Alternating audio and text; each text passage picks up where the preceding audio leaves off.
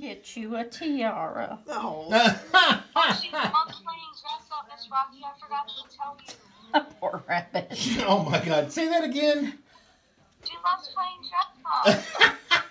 Oh my god, we gotta hide that I just want it known that in this day and age, 20 years ago, cell phones were a box, okay? They were something you carried like a big purse that you could kill people with. These days, I can actually see a client working at a separate business, okay, along with the uh, the accompanying humans here and uh, our patient here. So this is kind of cool. I even got to show you the video of the mites through your phone. So this is just awesomeness. It really was. Modern, med- modern medicine and thought. technology is just the coolest thing ever.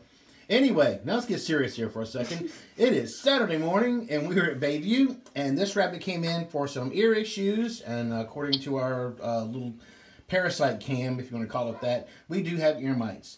So we're going to start this guy on his treatment. He's getting back once a week for the next uh, two to three weeks. All right, in the next room behind me, and oh, by the way, we're uh, Saturday morning. We're at Bayview, and in the room behind me is a rabbit with an ear infection. And I just thought I would concentrate on this little spot right here for you because this is an ear mite egg. So that is just kind of cool. Of course, it's not going to move, but you get a video anyway. Move, little egg. Hatch right before our eyes. Hatch, hatch, hatch, hatch, hatch. Oh. Well, it's not going to happen. Untimely. Gotta come back when he's more ripe. we'll come back to you, little egg. See you later. I'm lying. If you are a Mite fan, and I must say, Mite's lives do matter. But unfortunately, the rabbit has a bigger pocketbook. So, in my slide prep, we killed this one by accident. Rest in peace, little bug. Later. I'm so sorry I killed you. He's awesome. Also, in the room behind me. Oh, I'm sorry, not also. Also, for the room behind me, here is a one of those ear mites in total, moving around and dancing for your viewing pleasure. We'll uh, see if we can get fa- focus in and out here a little bit so you can see more. This is most likely a male. Remember the fact that it is an adult and its size is kind of small. And in a second, I will actually put the female on the screen, but I can't focus this and do that at the same time. It's just I'm not that good. I'm sorry. Oh yeah. It's a party.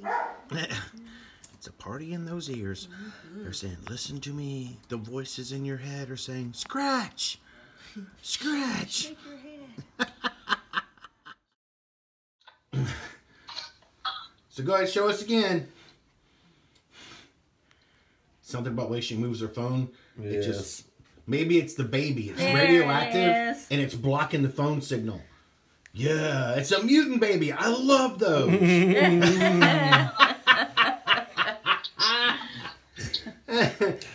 Thank you. December's around the corner. it's a baby primate in the oven. I just love those things. That's her sister. Her sister. If that baby comes We're out with not long ears, I'm speciesist or thinking- sexist. That's like your, that's a baby sister. Oh, you want to see my butt crack? Oh. Did you say butt crack? no, I don't want to see your Thought butt I was crack. hearing stuff. This is awesome. In that, Bob? There is a tiny monkey. Oh, um, and at that point in time, we'll actually give him a shot of his parasite and uh, stuff, the antiparasitic medication, and then we'll also go ahead and uh, start cleaning his ears. But as these guys' ears are so painful in the beginning, I have found probably the easiest and the best way to do these cases is to actually put the ear mite medication after we give the shot that kills the parasites. Put a medication in there that is both antibacterial, antifungal, and an anti-inflammatory. And over the next week, it'll give the skin and the inflammation in there a chance to heal. Um, and then come next week, we'll actually do our best to clean those ears out. Sometimes I get so lucky that the rabbit has shook his head between now and next week, and those plugs have come out. But if not, we still have to clean them, and he's still gonna need that next shot. Okay. So that's what it looks like. Does mom have any questions? Um, so everyone got to post her bedding. Say that one more time. Every morning I change her bedding outfit.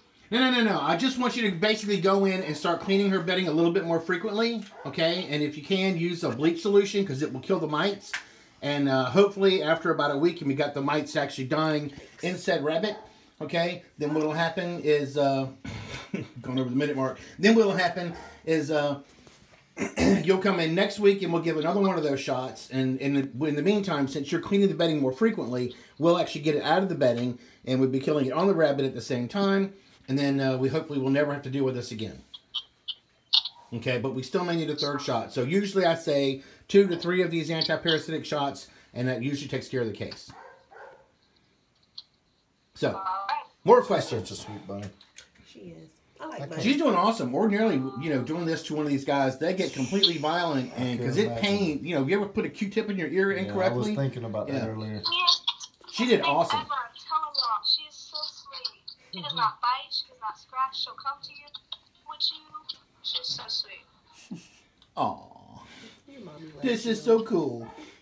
All right, mom. Yeah, she So, rescued her. bye bye. Bye bye. I'm gonna give the shot now once I get a weight on her. Yeah.